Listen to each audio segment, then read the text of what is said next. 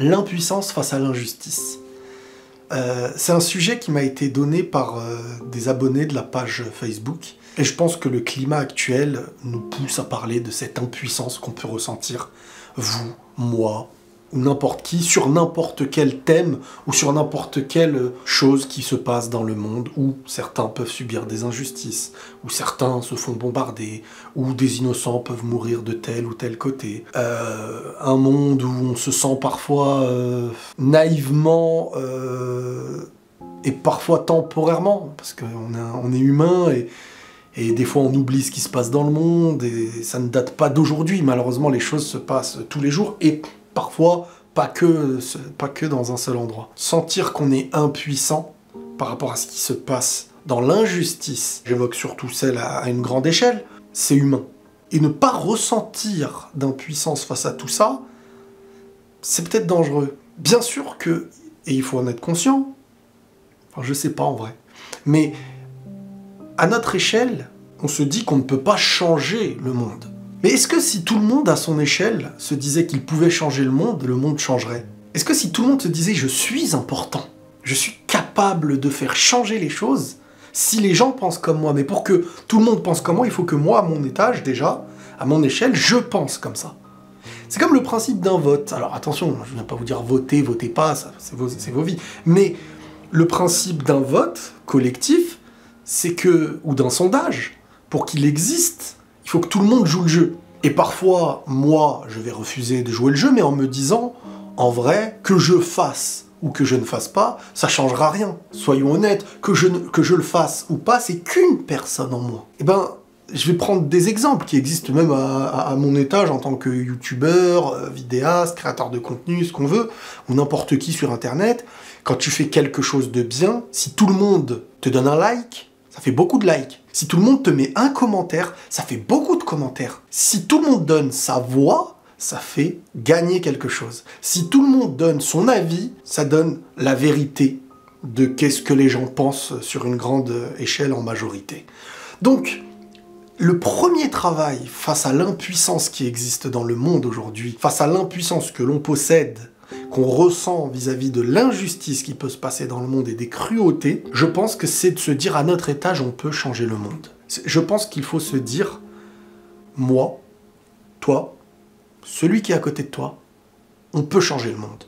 Maintenant, tout le monde aura une action propre à son étage. Et c'est comme ça que les choses elles avancent. S'il y a un seau qui est vide et que tout le monde sur Terre y met sa petite goutte d'eau, le seau devient rempli. Et si nous tous, on se met à penser qu'une goutte, c'est futile, bah personne ne remplira. Et le bien, et l'avancée, et les communautés qui grandissent, et l'être humain qui devient un meilleur être humain, et les pensées qui nous font avancer, et la science, et l'entraide, et le partage, et le don de soi ou financier, et eh ben c'est exactement la même chose. Tout le monde doit contribuer. Je vais prendre un exemple qu'on m'avait dit par le passé, c'est les fourmis. L'exemple des fourmis, il est magnifique. Une fourmi toute seule, elle ne peut pas euh, faire un pont et passer, elle ne peut pas porter, je sais pas, un bout de fromage. Euh, par contre, ensemble, collectivement, et le collectif c'est quoi? C'est tout le monde, en étant soi-même, qui fait sans se dire je ne sers à rien. En se disant non, non, non, on contribue tous. Et vous savez, j'ai voyagé dans certains pays, euh, en Corée, etc. Et il y a des pays où j'ai remarqué que tout le monde avait comme pour mission d'être important sur la base d'un collectif. Parce que je fais, et si je ne fais pas, on ne peut pas emboîter cette chose sur autre chose. Comme un Lego. Je ne sais pas si vous allez comprendre ce que je veux dire. T'en mets un sur l'autre. Pourtant, de base, c'est un seul et un seul. Mais si t'en as 30, tu peux construire quelque chose. Une brique, c'est pareil. Si tu as beaucoup de briques, tu peux faire une maison, tu peux te faire un toit. Mais si chaque brique s'interdit d'exister, aucune ne peut s'emboîter. Et c'est pareil dans tout dans la vie.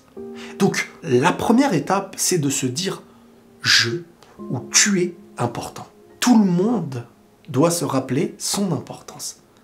Il peut se dire que je sois là ou pas, rien ne changera. Mais si tu te le dis, alors dis-toi que tout le monde peut se le dire. Et si tout le monde se le dit, dans quel monde on avance? Je donne d'autres exemples. Si tout le monde ramassait ses propres déchets, si tout le monde, quand il fait tomber quelque chose par terre, il le ramasse, on vit dans quel monde si ça se passe comme ça? Pourquoi dans notre esprit on doit toujours se dire c'est pas grave parce que ce que je fais restera minoritaire? Et pourquoi on ne se met pas à penser d'une façon qui vient nous dire ce que je fais représentera la majorité? Si je veux que le monde change, je dois sentir que j'ai un impact sur ce changement. Et ça passe par la petite échelle. Et, vous savez, et c'est ça, des fois, il y a une hypocrisie qui peut exister. Beaucoup de gens, aujourd'hui, se plaignent de l'injustice qui peut exister dans le monde. De personnes qui se font voler, de personnes qui se font violer, de personnes qui se font tuer. Mais eux, à leur étage, est-ce qu'ils se disent je veux changer les choses, je veux que le monde évolue, je veux que les choses soient différentes, je condamne fermement cette injustice. Est-ce qu'à mon étage, je la condamne? Est-ce qu'à mon étage, je ne suis pas un voleur?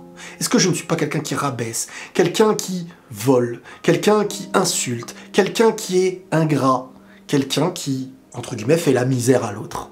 Ou alors, est-ce que je suis quelqu'un de bon sens, qui fait avancer? Je suis une main pour que l'autre puisse prendre la mienne et avancer. Si je n'ai pas l'utilité d'être un pont pour l'autre, c'est mieux que je me taise en vrai. Normalement, dans la vie, pour vouloir avancer, il faut deux choses. Soit on contribue au bon sens et à l'avancée ensemble, ou on aide l'autre, ou celui qui est à côté voit en nous l'utilité. On doit être l'utilité de celui qu'on ne connaît pas. Et c'est comme ça que la vie, elle avance. Et tout le monde. Ou alors, si on ne peut pas faire ça, on ne doit pas être l'inverse. C'est mieux qu'on se tait. On sera gagnant même dans le silence. On travaille avec nous-mêmes, on continue d'avancer. Mais si on en fait l'effet inverse, on est quelqu'un qui rabaisse les autres, on est quelqu'un qui peut agresser, quelqu'un qui peut voler, quelqu'un qui n'est pas là pour le bien, quelqu'un qui terrorise, quelqu'un qui fait peur, quelqu'un qui contribue à, non pas à l'avancée mais à la chute, et eh ben à notre petit étage, on a à notre échelle une responsabilité de ce qui existe sur la grande échelle mondiale. Parce que la grande échelle mondiale ne peut pas exister sans une injustice à notre étage. Si la majorité pense qu'elle peut changer le monde, le monde change. Et c'est ça qui fait la différence. Prenez tous soin de vous et la paix sur vous.